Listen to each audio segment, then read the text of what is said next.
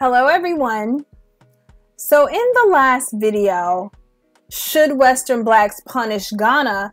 I discussed Ghana's discrimination against American and UK blacks, as well as those others who are part of the diaspora who are from and live in other parts of the Western world. I simply asked a question. You should not be mad at the question. If you are mad at the question, then the real issue is that you're most likely embarrassed by the answer and you're upset because you're being called out about what it really is. So, in the last video, that was dropped, I spoke very specifically about issues within Ghana that revolve around Western blacks being discriminated against by being overcharged. Because most of you who watched it or who have not watched it did not see it in its entirety I highlighted the example of how during the global shutdown, blacks who were traveling to Ghana from the US and UK were excessively overcharged. And let me be very clear I highlighted the example of how those traveling from the Western world, primarily UK and the US, in particular the black people traveling, were excessively overcharged to take the same PCR tests that were given to Ghanaians and West Africans for a lower price. We're not talking about different PCR tests. We're talking about the same exact PCR test. If you do not believe me, take a look at your screen because this is what is on and was on the Ghanaian embassy's website and me actually visiting Ghana at that time, I can tell you that there was a clear, distinct difference because you had to pay for your test before you even boarded the plane. There were so many people who watched the last video and responded in the comments with their efforts to gaslight. And just so we're all on the same page, by gaslighting, I mean in a number of the comments, there were all these attempts to make it seem as though the discrimination many Western blacks faced during that time and even now today, that somehow this doesn't exist. That somehow this narrative that I discussed in the last video is somehow a made up narrative. And those who actually did acknowledge and do acknowledge that, yes, because you're from the West, you are overcharged, they tend to justify it. And the link to the to the last video is actually going to be in the description. And uh, if I can put it at the top of this video for you to click on it, it's also at the top of this video. So in this video, I just want to highlight some of those comments. A number of Ghanaians came to the platform and left. For those of you who are black, who are from the UK, the US, or what's considered to be the Western world, because there are other countries outside of the United States and the UK that are a part of the Western world, like Canada and, and Australia and some other areas too. Listen to some of these comments that they left on the last video so you can see how some of these Ghanaians really feel about those of us from the West. And I want to preface this like I prefaced the last video. I am not in any way suggesting that you should not visit Ghana. We are a travel platform, Black Travelers Network. This is not designed to discourage people from going to Ghana. It's designed to, one, make people aware that it does exist, two, to challenge the, the country of Ghana to be more fair in how they're assessing and charging people because it is price discrimination based on nationality. And so let's get into some of these comments. So the first comment is we'll start making videos exposing the violent and coarse behavior of African Americans too. This person then goes on to say, totally unnecessary topic. Besides, whether you decide to come back to visit or invest or relocate, we'll be all right with or without you. Would you like us Ghanaians or Africans to talk about our unpleasant experiences or encounters with your people? And so, to this comment, I simply say, look, this is not a personal attack against the people of Ghana.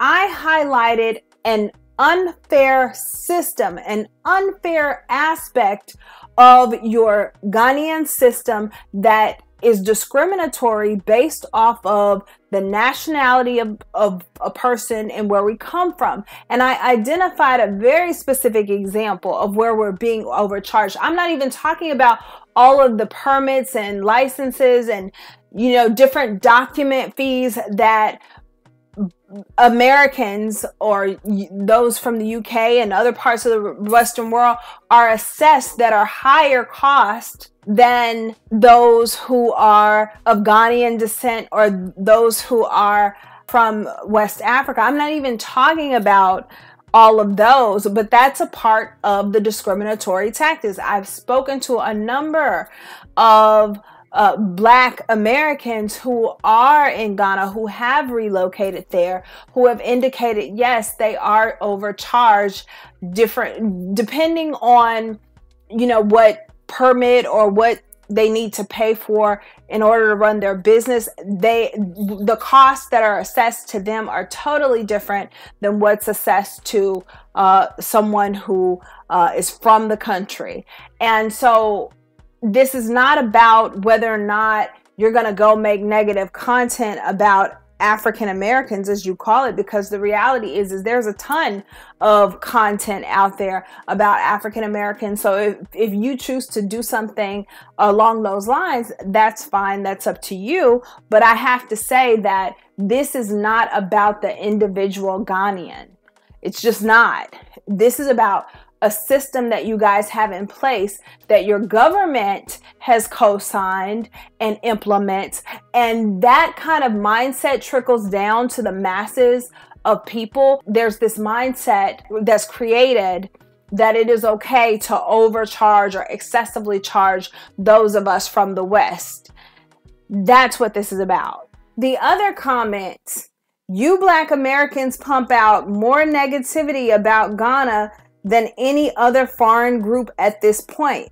How can you punish a country that does not need you? Ladies and gentlemen, please, please understand that my perspective, and I've always said this, I don't necessarily think Ghana or any other African country necessarily needs us. I, I don't think any of us feel like, oh, we got to go to Ghana because they need us. Like, no, that's not what we think. That's not how we think. So to even say that it ain't like you guys really need us, we know that. You know, I personally feel the, the good people of Ghana are smart enough, more capable enough you guys are um, creative enough to come up with your own solutions. You don't ne- you don't necessarily need us.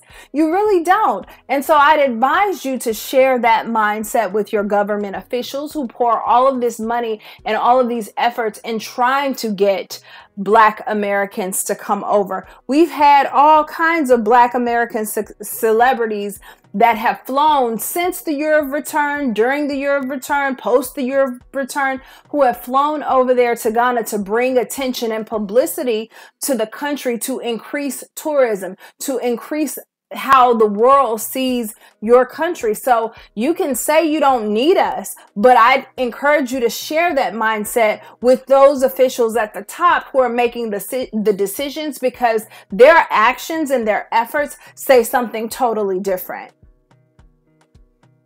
And the other part of this comment that I just thought was completely weird is the fact that you, that this person says you black Americans pump out more negativity about Ghana than any other foreign group, which is a whole lie.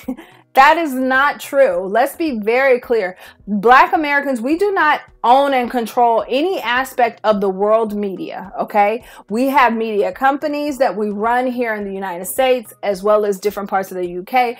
But in terms of the global system as a whole, we do not own nor do we control any massive media company. So to somehow suggest that we're pumping out more negativity is a whole lie. But I'll tell you what we have pumped out. We have pumped out over $2 billion in the Ghanaian economy. That is a fact that is on record. We've pumped that out before the year of return, during the year of return, which we have clear receipts on that And we have continued to pump that out post your return because your efforts in the country has now shifted from coming over to visit and tour Ghana to coming back over to invest in the country. So, so to somehow say we pump out negativity, nothing but negativity more than any other foreign group is not true.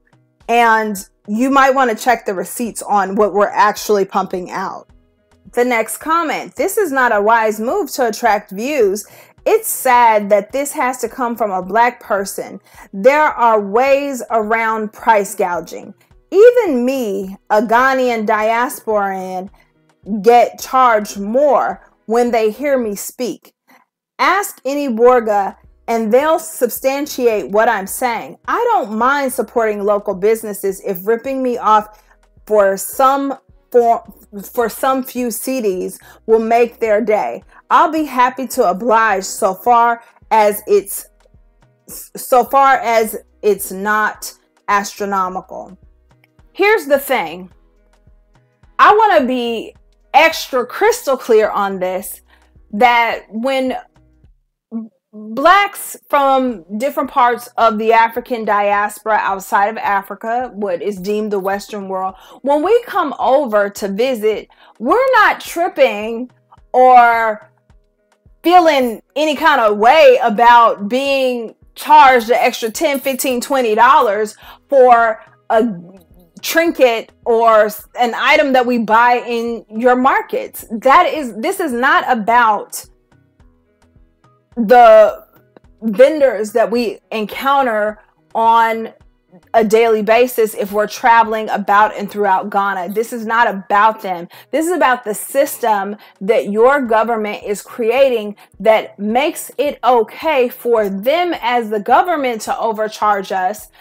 And that kind of mindset actually does trickle down to, to the everyday man or woman. Most of us here in the United States support small businesses, local businesses on some level. And we already know in doing that, that oftentimes when you're supporting smaller local businesses, sometimes the prices are going to be a little bit higher than maybe if you went to a larger corporation and bought the same item. We know that. We get that. I want to be clear that the last video is not about putting down any local businessman or businesswoman who has a product or has a service and they're charging what they feel they need to charge or what they want to charge to feel motivated to be there and to make another sale. Like this is not about them. This is about the system that the country is creating that makes it abundantly clear that if you are American, or you are from the UK or from any other aspect of the Western world, you come to Ghana, you will be overcharged by the government. If you decide to do business, if you decide to enter the country during a time where, you know, you have to submit, uh, you know, proof of health, you know, they're going to charge you more. And I just think that that's just, it's, it's not right. It's, nothing less than discriminatory. Take a look at this comment. This gentleman says a whole lot of different things, but ultimately he ends by trying to issue some sort of threat by saying, keep making videos, throwing up words coming after our nation, then we will handle you. I guess that's supposed to make me fearful, but it absolutely does not. We have to get to a place in our society. And also just generally speaking in the diaspora i really feel like we have to get to a place where people are allowed and encouraged to ask critical questions of each other without somehow people feeling like oh this is a personal attack or oh we're sitting up here trying to throw dirt on the country. That is not the case. You know I come from obviously the American culture and it's a it's just a cultural difference you know if i'm asking questions that are critical i'm coming from a place because i really care if i'm highlighting a problem and an issue that i see I'm coming from a place because I, I really care and I want to see it improved. Because if you're trying to attract folks from the Western world to come and set up shop and live there or do business there, you know, these kind of things like discriminatory pricing is a big barrier to that level of success. It just is. And so because I use the term, which I stand by and I stick by the, the word discrimination, and you can look up the word discrimination because when I am describing this system, it is textbook discriminatory. Okay. It, plain as day. You can look at it online eh, at the embassy's website. Okay. So I say that to say, you know, we have to get to a place where we're asking these hard questions. And one of the challenges and the things that turned me off about Ghana is being in Ghana for as many times and as often as I've visited, I've heard so many Ghanaians complaining. You complain about your government, you complain about your government officials and how they take the money and they're not doing anything with the money that's benefiting the people. And then I asked you, why don't you confront your government officials? And the first thing you say is, well, it's kind of like a parent child relationship. You know, we don't like it, but we still respect them as our leaders. What? so then why are we wasting time complaining? Like, you know, it, that's the difference between cultures because at the end of the day, I'm raising the issue online on this platform because I actually do care. Because I have travelers who uh, come to Ghana, uh, because I have travelers who have yet to come, because I have travelers who visited sometime ago who have expressed a desire in going back because they want to buy property. Some of these people want to buy it for investment purposes, and some of these people want to buy it because they ultimately want to retire right there in Ghana. Like, I'm coming from a place of having experienced the country. This is not uh, from a place of trying to tear your country down. It's just not. Um, it, it, it might be a lot easier for me to, to do videos like this if I really didn't like the country, but I love the country. I've been there numerous times. And I, but at the same time, I have to be honest about what it is that I've seen, what I've experienced, and um, just what I feel needs to be be done better because you know visiting and traveling about Accra is cool, but how has the country benefited to the tune of $2 billion from your year of return? But outside of Accra, you're dealing with dirt roads to drive up on as if this is the early 1900s. It, it, it just doesn't make sense. So, yes, I, I am being critical, and the threats don't work. This other comment it's fact that the Chinese is rebuilding Ghana's infrastructure. Regardless of race, can you show me one major project built by Americans in Ghana apart from providing Ghana arms to kill each other and create conflicts in the region? Please show me just one project, not those crap uncomplicated scam buildings seen on YouTube. Here's the thing I have multiple examples of Americans, Black Americans specifically. I don't know too many non Black Americans who come to Ghana, um, but I know I have multiple examples of Black Americans who have come from America and who set up shop and rebuilt neighborhoods, built businesses over there in Ghana. Our, our last uh, visit to Ghana, uh, we met a sister from the United States who has two locations, two spa locations right there in Ghana.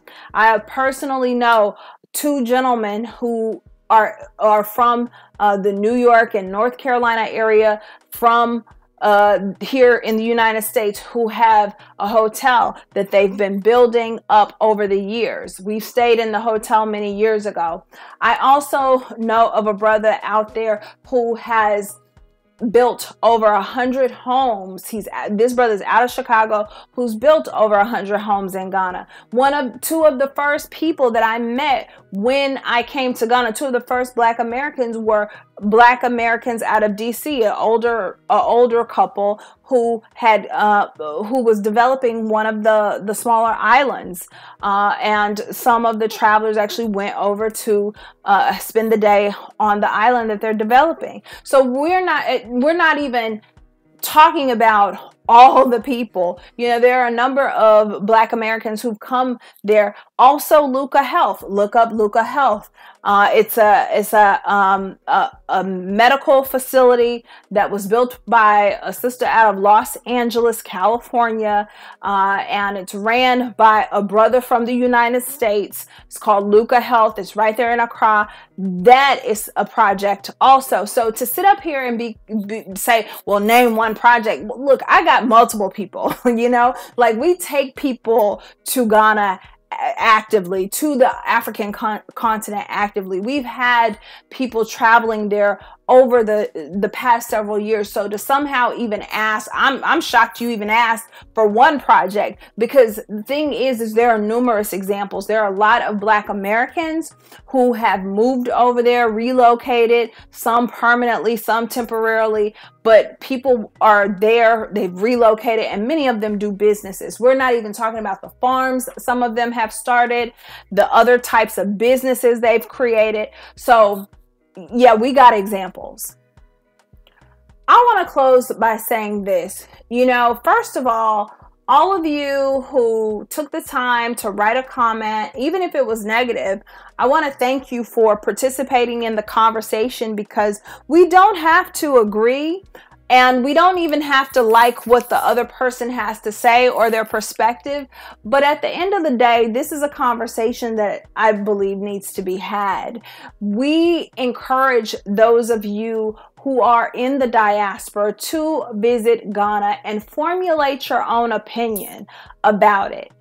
I personally have had really great experiences traveling to Ghana on the ground, um, being in the country. Uh, I'm very disappointed in how so many of the government officials have handled the resources that have been entrusted to them because I do feel like when you go to different parts of uh, of the country, you can clearly see that those resources are lacking in some areas and it, they need to like really take stock on how they're distributing the resources, who's actually getting them, and what projects are actually being prioritized.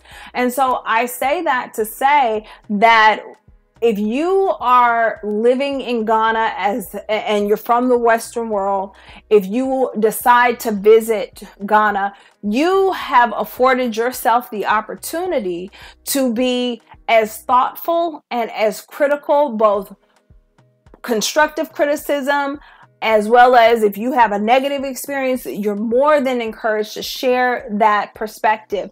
Do not allow anyone, regardless of the country that they are from, tell you that what you have to say or what you have experienced is not true, or you shouldn't feel that way, or you shouldn't highlight it. That is where I have to draw the line. And so, all of you who have dropped comments trying to gaslight, let me just be very clear.